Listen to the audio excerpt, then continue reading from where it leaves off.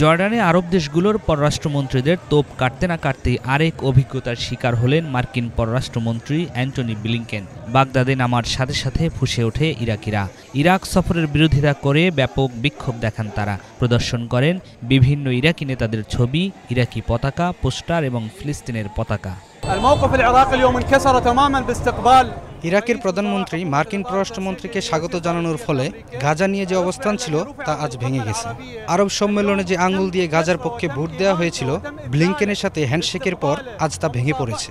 এরাই আরব ফিলিস্তিনি জাতির উচ্ছেদে ভূমিকা রাখছে।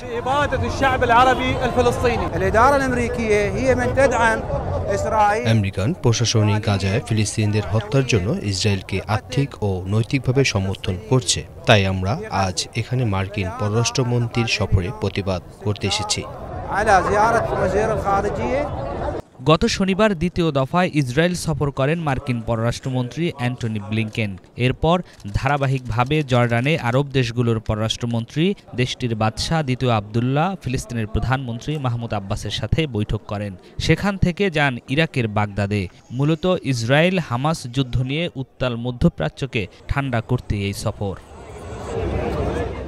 প্রতিবাদ চললেও বাগদাদে ইরাকের প্রধানমন্ত্রী মোহাম্মদ শিয়া আল সুদানির সঙ্গে ব্লিংকেন এক ঘন্টারও বেশি সময় ধরে বৈঠক করেছেন। বাগদাদে মার্কিন দূতাবাসও পরিদর্শন করেন মার্কিন পররাষ্ট্রমন্ত্রী। এরপর উড়াল দেন তুরস্কে। সেখানে মার্কিন দূতাবাসের কর্মকর্তারা তাকে স্বাগত জানান। গাজা সংঘাত নিয়ে আলোচনার জন্য তুরস্কে এসেছেন তিনি। তুরস্কের পররাষ্ট্রমন্ত্রী হাকান ফিদানের সাথে বৈঠক হওয়ার কথা রয়েছে অ্যান্টনি ব্লিংকেনের। ব্লিংকেনের তুরস্কে আগমনের কয়েক ঘণ্টা আগে মার্কিন সেনাদের একটি বিমান ঘাঁটিতে ফিলিস্তিনিরা সমাবেশ করে। সেখানে তাদের ছত্রভঙ্গ করতে টিয়ার গ্যাস এবং জলকামান ব্যবহার করে পুলিশ। এদিকে দেশটির উত্তর পূর্বাঞ্চলীয় কৃষ্ণ সাগর প্রদেশের রিজেতে দেওয়া এক ভাষণে তুরস্কের প্রেসিডেন্ট রিসেপ তাইব এরদোয়ান বলেছেন, ইসরায়েলি নিপীড়ন থেকে ফিলিস্তিনিদের রক্ষা করার দায়িত্ব তুরস্কের। সেটি তারা করছেন এবং দৃশ্যমানের চেয়ে আরও বেশি কিছু করা অব্যাহত রাখবেন।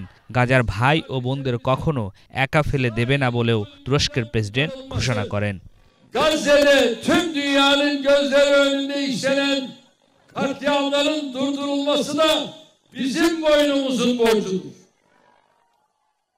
আমাদের ফিলিস্তিনি ভাইদের ইসরায়েলি নিষ্ঠুরতার হাত থেকে বাঁচানো এবং বিশ্বের চোখের সামনে গাজায় যে গণহত্যা চলছে, তা বন্ধ করা আমাদের দায়িত্ব। শিশু এবং তার মায়েদের হত্যাকারী খুনিদের কলার চেপে ধরা আমাদের মানবিক দায়িত্ব। ফিলিস্তিনের মাটির প্রতিটা কোণে নিরপরাধ মানুষ এবং নির্যাতিতদের কাছ থেকে চুরি করা এই চোররা সর্বত্র এই অনৈতিক, হৃদয়হীন, জঘন্য গণহত্যা চালাচ্ছে।